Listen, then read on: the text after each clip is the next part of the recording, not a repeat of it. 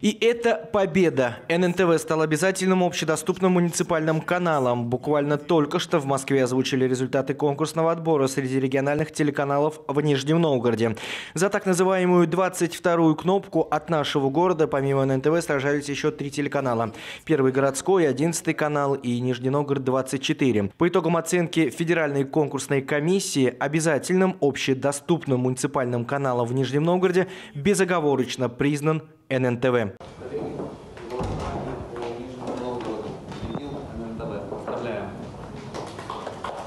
Спасибо.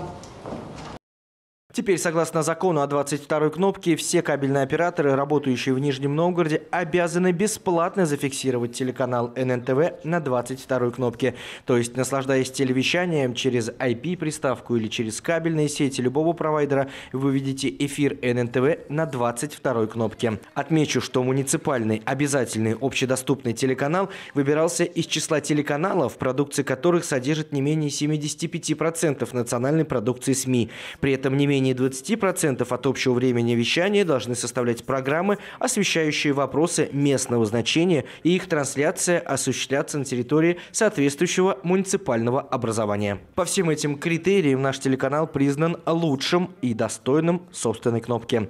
Кстати, со стороны ННТВ для закрепления на 22 кнопке уже все готово. Планируется, что окончательный переход на 22 кнопку в Нижнем Новгороде завершится до конца этого года.